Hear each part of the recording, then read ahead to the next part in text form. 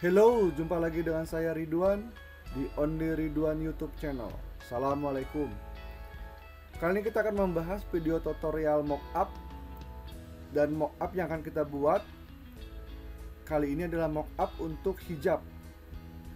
Maksud dari pembuatan mockup ini agar konsumen dapat mengetahui jika motif kain atau motif hijab saat digunakan bentuknya seperti apa. Sebelum kita mulai tutorial kita kali ini, bagi teman-teman yang belum subscribe, jangan lupa klik tombol subscribe dan aktifkan loncengnya agar teman-teman dapat mengetahui update video saya selanjutnya. Dan jangan lupa like dan share-nya. Baik, kita mulai bagaimana cara membuat mockup hijab dengan menggunakan Photoshop.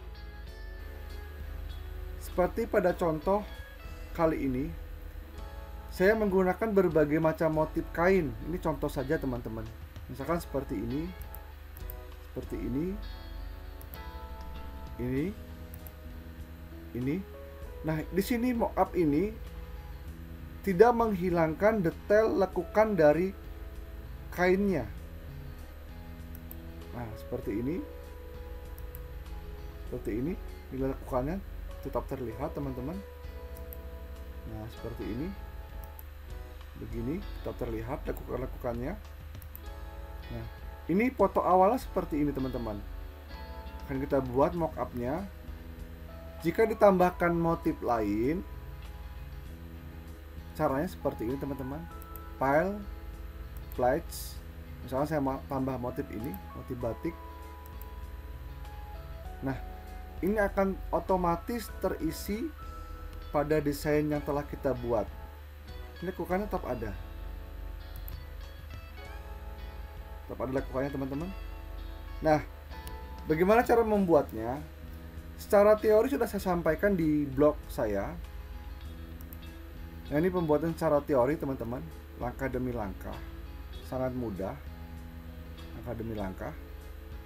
Langkah awal ada 9 langkah pembuatan mock-up hijab ini sampai langkah akhir seperti ini mock-upnya sudah dapat digunakan. Seperti ini teman-teman. Nah ini secara teori sudah saya sampaikan di sini. Silahkan teman-teman buka. Jika teman-teman tidak ingin uh, menonton video tutorial saya bisa lihat di sini secara teori di blog saya. Nah bagaimana cara membuatnya Cara membuatnya cukup mudah teman-teman. Pertama teman-teman siapkan sebuah gambar atau foto. Misalnya saya ambil file open, ambil gambar, gambar ini saja biar sama. Nah, diusahakan gambar ini menggunakan hijab polos, jangan bermotif yang polos, misalkan merah, hitam, putih gitu ya. Jadi yang polos. Langkah berikutnya kita akan seleksi hijabnya saja dengan menggunakan pen tool. Pen tool ini toolnya pen tool. Dengan menggunakan pen tool, saya zoom di bagian bawah sini, saya mulai di bagian bawah sini. Tekan ALT baru di scroll pada mouse ini ya. Kita akan seleksi klik di sini, klik di sini gitu ya tarik begini teman-teman. Tarik begini. Oke. Ini kerapian tergantung dari teman-teman saat menyeleksinya. Nah ini bisa diputus. Ini kan nggak bisa belok ke sini diputus ini. Berarti cara memutusnya tekan ALT pada keyboard klik di sini. Jadi ingin memutus handle-nya itu tekan ALT baru klik. Saya klik di sini. Contoh saja teman-teman. Begini. Klik di sini lengokin ke sini. Ini saya cepatin ya. Begini saya ulangin. Ke sini dulu. Ini. Diputus. Ke sini diputus tekan ALT baru ke sini diputus baru ke sini tarik. Putus ALT ke sini ke sini lagi baru ke sini teman-teman baru ke sini di zoom. Sini tarik begini. Oke zoomnya kita kurangin. Oke putus. Tarik ke sini. Ini dan ke sini. Pelan-pelan saja teman-temannya. Oke saya zoomnya saya kurangin. Geser ke atas. Ini saya klik di sini teman-teman. Oke langsung begini. Oke tekan ALT klik di sini memutuskan. Di sini. Klik di sini ALT klik gitu ya. Langsung ke sini boleh. Tekan ALT klik di sini. Sini lagi langsung. Tekan ALT klik di sini. Sini ALT klik di sini. Sini. ALT klik di sini.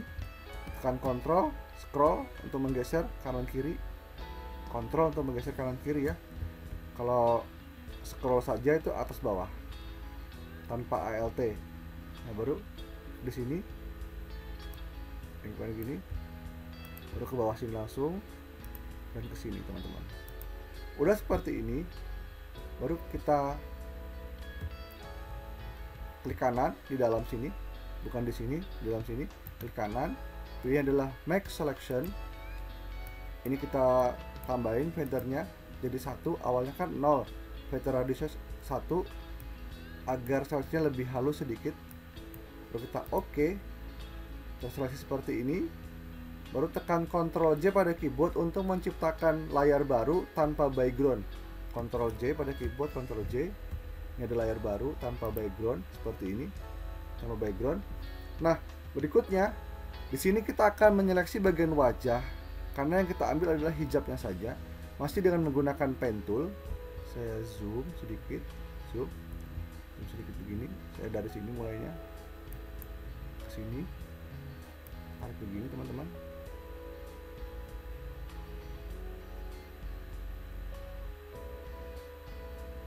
Oke scroll ke atas.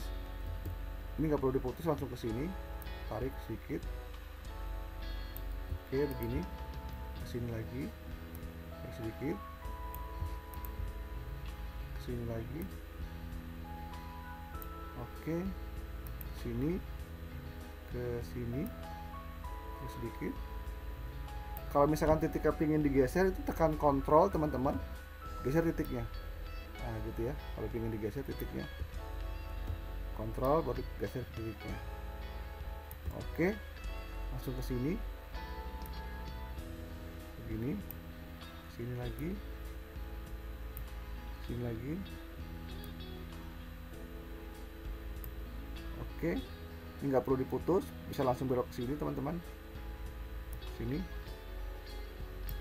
Oke tekan ALT putus sedikit. Mau kita lanjutkan di sini oke sini lagi.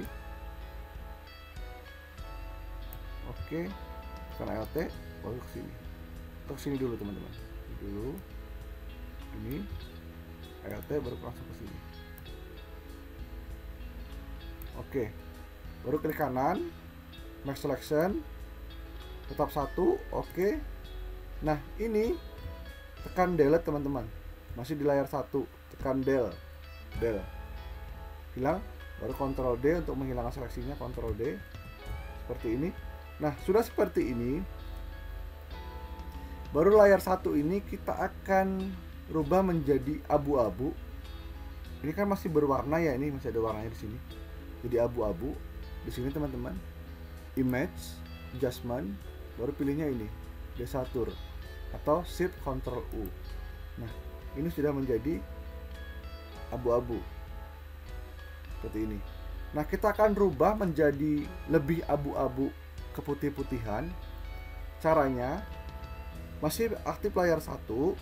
Klik di sini teman-teman. Create new fill or adjustment layer. Sini pilihnya level nah ini kita geser ini ke sini. Geser ke sini. Sudah mulai berubah nih abu-abunya. Ini ke sini lagi geser lagi ke sini. Geser sini lagi dikit. Oke seperti ini. Kalaupun nanti kurang bisa kita setel lagi di sini teman-teman. Terus klik ini teman-teman. Ini diterapkan ke layar satu ini maksudnya. Klik di sini ini ada panah ke bawah sini. Berarti level ini diterapkan ke layar satu. Oke. Sudah seperti ini. Warnanya kita rubah seperti ini dengan menggunakan level. Nah berikutnya layar satu ini kita masking.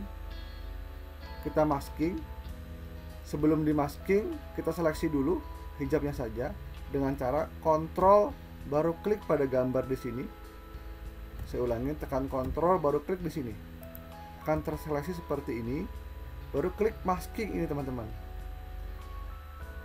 Add layer max klik begini hasilnya seperti ini. Nggak apa setelah seperti ini layar satu ini kita duplikat teman-teman. Ini masih aktif ya layar satu ya. Cara menduplikat biar cepat Ctrl J pada keyboard. Ctrl J. Ada dua buah layar seperti ini. Nah layar ini kita ganti namanya menjadi layar 2 layar 2 oke. Sudah seperti ini layar satu ini blend modenya kita ganti di sini dari normal menjadi overlay. Overlay dengan opacity-nya kita kurangi menjadi 17% saja. Ini ya layar satu ya. Kalau lihat hasilnya seperti apa? Seperti ini. Ini hasilnya untuk layar satu. Berikutnya layar 2 kita aktifkan. Blending modenya kita rubah dari normal menjadi multiply layar 2 multiply layar 1 overlay. Untuk multiply layar 2 opacity-nya tetap 100% jadi seperti itu.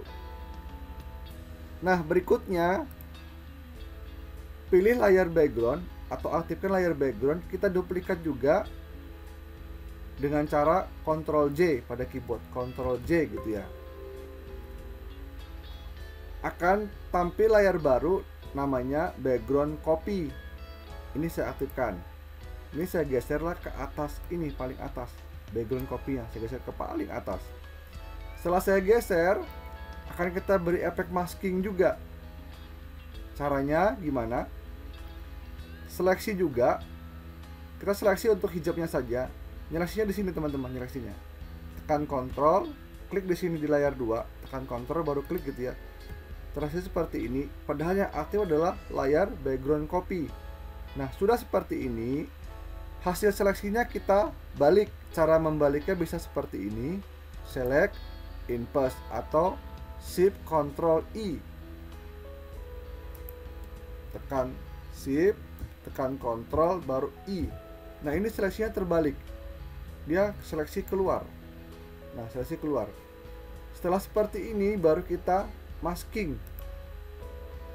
Coba teman-teman perhatikan bedanya di mana. Ini bedanya di sini. Kalau masking ini yang hitam adalah backgroundnya. Kalau masking yang di sini yang hitam adalah objek hijabnya. Nah, sudah seperti ini teman-teman, sudah seperti ini. Kita aktifkan background bawah ini kita aktifkan. Nah, selanjutnya ke tiga layar, layar background ini, background copy, layar 2 dan layar satu kita akan grup caranya. Pilih semua layar, tiga layar ini yang di atas, tekan shift, pilih layar 2, pilih layar satu. Terpilih semua seperti ini. Setelah terpilih semua seperti ini, kecuali layar background yang paling bawah. Setelah terpilih seperti ini, tekan Ctrl G pada keyboard, Ctrl G akan tercipta sebuah layar namanya grup 1 yang isinya ini. Oke. Nah, berikutnya kita akan coba memasukkan motif kain. Apakah mockup ini sudah bisa kita gunakan? Kita coba ya. Caranya, aktifkan layar background di bawah sini. Ambil gambar motif kain. File flash. Kenapa file flash? Biar motif kainnya langsung masuk ke dokumen kita ini pilih menu file pledge misalkan motifnya ini bunga ini dulu baru di pledge nah motifnya masuk teman-teman Nah, tinggal dibesarkan dan dikecilkan. Seperti ini. Sudah seperti ini baru dicentang. Nah, berarti mockup kita udah berhasil. Kalau misalkan shadownya kurang bagus tentang lekukan-lekukan ini, kita bisa atur di sini teman-teman. Di sini, di levelnya, double klik saja, kita bisa atur. Nah, kita bisa kurangi, tambahin. Nah, ini teman-teman, untuk menonjolkan lekukan hijabnya ini. Oke, kenapa kita buat level ini? Maksudnya seperti itu. Nah, jadi teman-teman memasukkan gambar itu di sini di layar background. Klik layar background masuk baru masukkan gambar. Ini saya nonaktifkan. Klik layar background lagi, gambar lagi. File, pledge. Ini misalkan baru di pledge. Nah, dia mau masuk teman-teman. Seperti ini. Baru di oke. Okay. Nah, itulah teman-teman bagaimana cara membuat mockup hijab dengan menggunakan Photoshop dengan mudah dan cepat. Semoga tutorial mockup ini bermanfaat. Sekali lagi bagi teman-teman yang belum subscribe, jangan lupa klik tombol subscribe atau berlangganan dan tentunya gratis. Jangan lupa aktifkan loncengnya. Jumpa lagi di video tutorial saya selanjutnya. Sukses selalu untuk Anda.